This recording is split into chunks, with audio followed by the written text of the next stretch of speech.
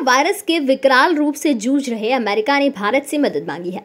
दरअसल अमेरिका ने भारत से हाइड्रोक्सीक्लोरोक्वीन दवाई की मांग की है। वहीं अमेरिकी राष्ट्रपति डोनाल्ड ट्रंप ने भारत को धमकी भरे लहजे में कहा कि अगर भारत ये मदद नहीं करता तो फिर उसका करारा जवाब दिया जाएगा।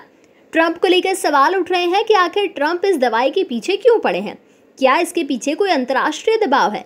या डोनाल्ड ट्रंप का कोई निजी मकसद है?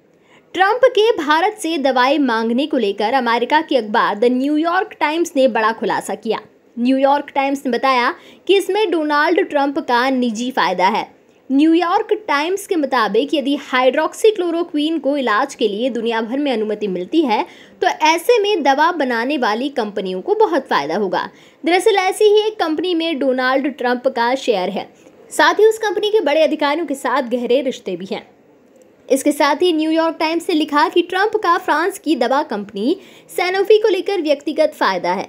यहाँ भी ट्रंप का शेयर है। ये कंपनी हाइड्रोक्सीक्लोरोक्वीन दवा को प्लाकेनिल ब्रांड के नाम से बाज़ार में बेचती है। गौरतलब है कि अमेरिका ने भारत से इस दवा की मांग की है। अमेरिका जैसे देशों में ये दवा कोरोना के मरीजों को दी जा रही है, जिसके कारण इसकी मांग बढ़ गई है। हालाँकि कुछ दिनों से भारत में इस दवा के उत्पादन में थोड़ी कमी आई है। साथ ही सरकार ने इसका निर्यात भी बंद कर दिया था। जिसे अब वापस शुरू कर दिया गया है। Subscribe our channel and press the bell icon for more updates